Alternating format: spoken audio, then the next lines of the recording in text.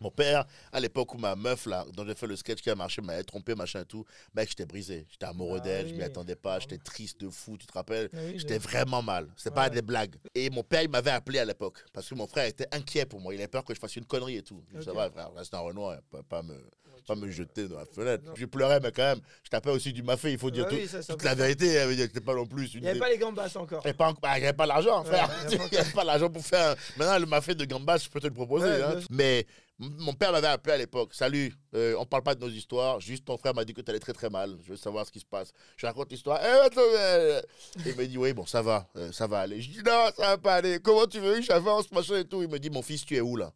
Je dis, je suis chez moi, dans le canapé. Il me dit, bon, lève-toi. Tu es debout Je dis, ouais, je suis debout. Il me dit, ok, bon, fais un pas en avant euh, pour voir. Ça a marché? Ok. Fais un autre pas en avant pour voir. Ça a encore marché Bon, eh ben tu fais comme ça jusqu'à ce que mort s'en suive.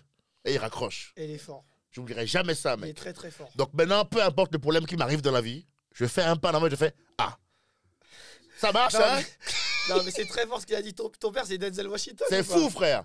Il m'a soulevé de mon canapé. J'ai dit, OK. Il m'a rappelé en deux minutes d'où je viens. Mm.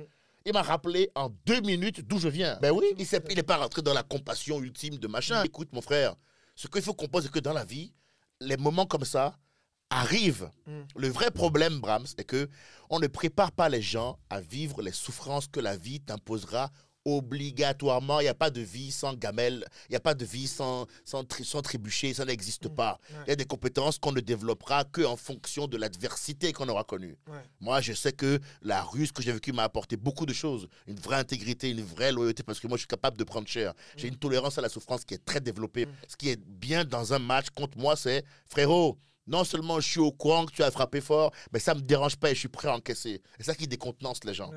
Pas parce que tu m'as mis une claque, moi, que je suis fini, moi. Tu vois ce que je veux dire? Moi, tu me mets une claque, ça fait mal, mais je reviens, hein On avance. ah ouais, mon gars, c'est ça l'idée en fait. Il faut arriver à avancer. Mais ça, on n'apprend pas ça aux gens. Boogie Major.